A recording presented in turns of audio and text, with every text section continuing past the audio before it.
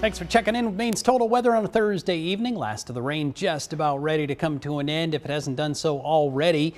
And skies will become partly cloudy during the overnight. The wind is going to swing around from a south southwesterly direction, eventually going west. And that's going to bring about some changes during the day tomorrow. First of all, it's going to usher in some colder air, but the air is going to be drier. So colder and drier means falling temperatures during the day. But yes, we'll get back into the sunshine, plenty of it.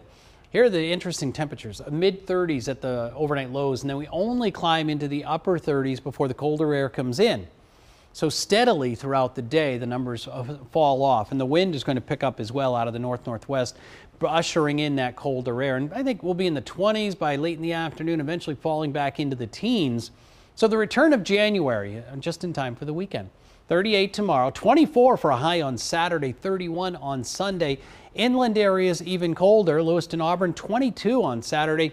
And if you're headed to the mountains, plan accordingly. 11 on Saturday and only 14 for a high temperature on Sunday. Now, this back to January isn't going to last all that long. You can see on the eight day, Monday we're back up into the 30s, and then we climb once again into the 40s with another chance of showers here on Wednesday, perhaps uh, rain or snow showers again later on in the week.